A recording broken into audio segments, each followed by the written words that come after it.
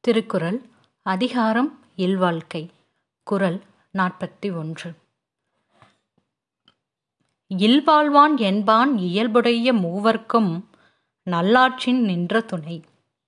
விளக்கம் இல்லறத்தில் வாழ்பவனாகச் சொல்லப்படுகிறவன் அறத்தின் இயல்பை உடைய மூவருக்கும் நல்வெளியில் நிலை பெற்ற துணையாவான்.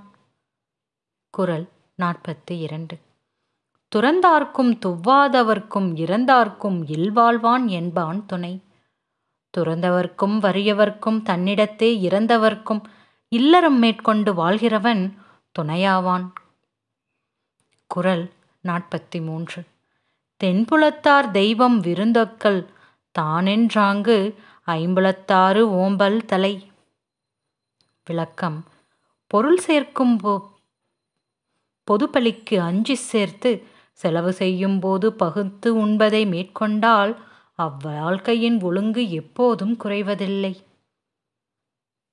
குறள் நாற்பத்தி ஐந்து அன்பும் மரணும் உடைத்தாயின் இல்வாழ்க்கை பண்பும் பயனும் அது. இல்வாழ்க்கையின் அன்பும் மரமும் உடையதாக விளங்குமானால் அந்த வாழ்க்கையின் பண்பும் பயனும் அதுவே ஆகும்.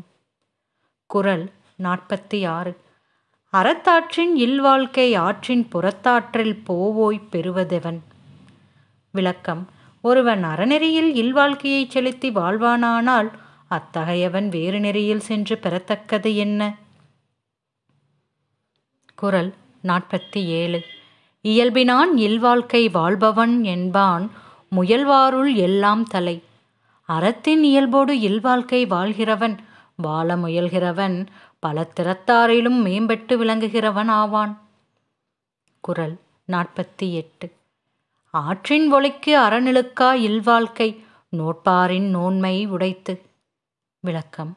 மற்றவரை அறநெறியில் ஒழுகச் செய்து தானும் மரம் தவறாத இல்வாழ்க்கை தவம் செய்வாரை விட மிகச்சிறந்த வல்லமை உடைய வாழ்க்கையாகும். குரல் நாற்பத்தி ஒன்பது.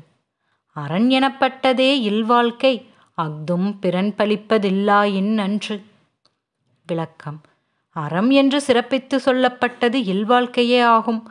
அதுவும் மற்றவன் பழிக்கும் குற்றம் இல்லாமல் விளங்கினால் மேலும் நன்மையாகும். குரல் ஐம்பது. வையத்துள் வாழ்வாங்கு வாழ்பவன் வான் உணர்ப்பியும் தெய்வத்துள் வைக்கப்படும். உலகத்தில் வாழ வேண்டிய அறநெறியில் நின்று வாழ்கிறவன் வானுலகத்தில் உள்ள தெய்வ முறையில் வைத்து மதிக்கப்படுவான். திருக்குறள் தொடரும்.